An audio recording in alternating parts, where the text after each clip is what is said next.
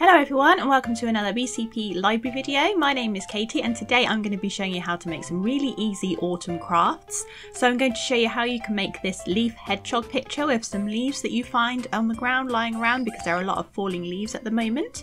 And I'm also going to show you how to make this cute little fox puppet slash bookmark that you just use your hand and add the face on top and it's really really cool. And also I'm going to show you how to make these little conker creatures because there are a lot of conkers on the ground at the moment so we're going to be making this little caterpillar and just decorating them and having lots of fun. So let's just get straight into the video.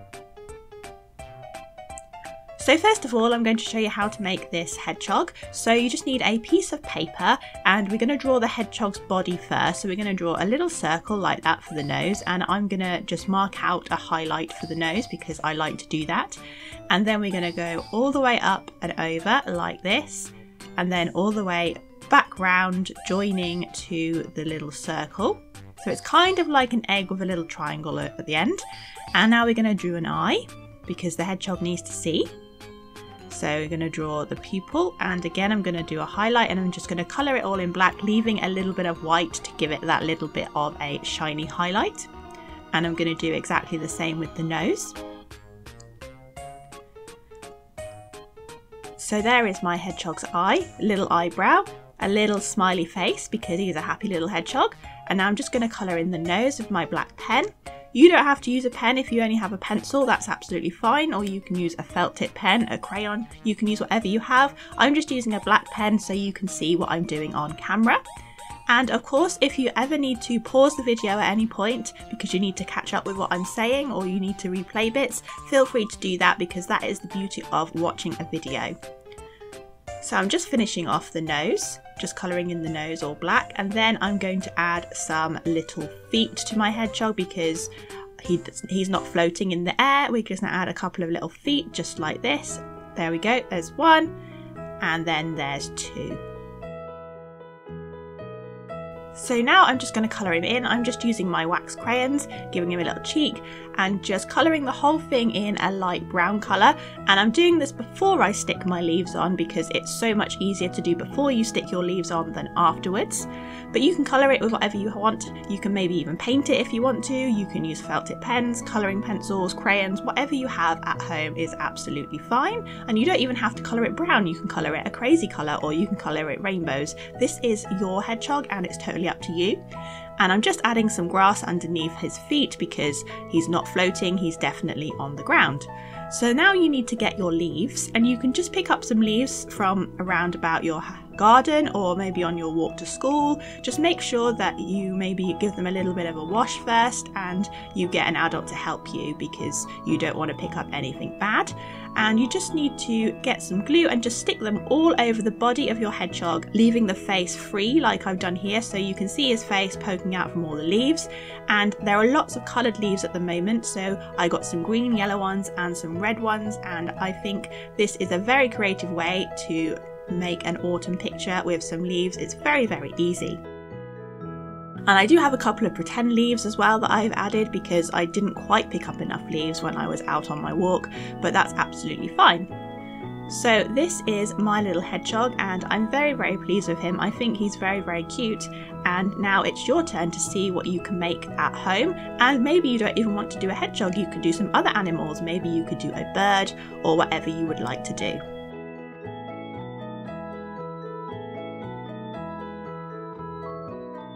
So now we're going to make the little fox and what you need for this is you need to draw around your hand on a piece of card. I have a blue piece of card because that's all I have at home but you can use whatever you want to and you might not have some drawing card, you can maybe just use a cereal packet and stick some white paper on that's absolutely fine so once I drew around my hand I coloured the whole hand orange because I'm making a fox and just coloured the tips of my fingers, kind of where I put my fingernails, I'm going to do them brown. And then on the thumb, I left the tail white because that is the tail and foxes have white tails.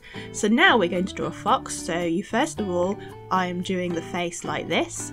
That's the shape, like that, kind of an arch, and then joining it together. Then a nose in the middle, two lines curved like that, a little smile,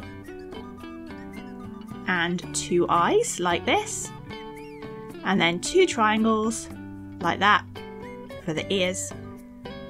And now I just need to colour him in. There we go, he's all coloured in. And once you have coloured in your face and your hand, you just need to cut them out. You don't have to do a fox, but I thought a fox was a nice autumn animal and it has four legs, so it worked quite nicely with my hand. So once you have cut out your hand, you turn it upside down and then glue the face on like this. So the hand becomes the body of the fox with the tail as the thumb and also the four legs as the fingers. And you can then walk your fox about, or you could even use it as a bookmark by putting the legs in between your pages.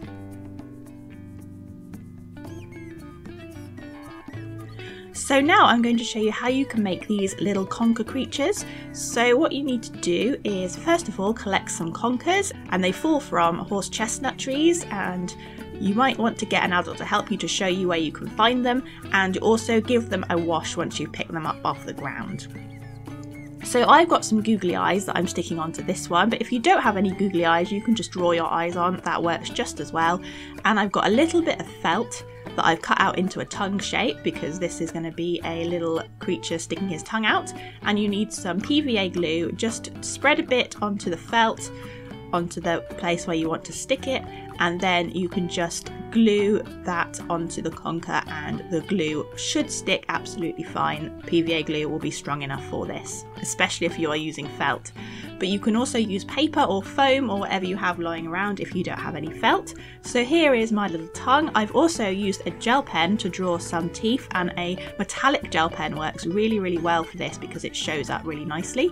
So now I'm making my little caterpillar and I've got about three or four little conkers and I've stuck some eyes on the first one and I'm just cutting out some feet to stick on each of the conkers and I'm going to line them up in a row to make a nice friendly little caterpillar. So again I'm using my PVA glue, sticking it onto the edge of the felt like this and then putting it underneath like so. There we go. And then I've done that for each of them and I've just alternated the colours to make it look bright and then I'm drawing on some features with my silver gel pen like this, just drawing his little antenna and I'm going to add some markings too, going to give him a little mouth and adding some little dots to the top just to brighten it up and make it a little bit more interesting. So there is my little caterpillar. And you can also just decorate them if you want to. You don't have to stick anything on. I've just written my name on one with a nice silver gel pen and I've just added some patterns onto this one. So you can be as creative as you like with your conker decorations. You can make whatever creatures you like. You can stick on whatever you find at home. Maybe you want to add some leaves on instead of some felt. It's totally up to you. These are just my conker creatures.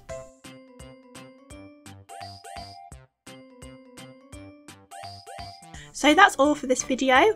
I hope you feel inspired to make some autumn crafts yourself. You don't have to follow exactly what I've done, you can just use these as some ideas for yourself. But now it's your turn to maybe go and collect some leaves or some conkers and maybe make your own little hand autumn animal. But that is all for the video, it's now over to you.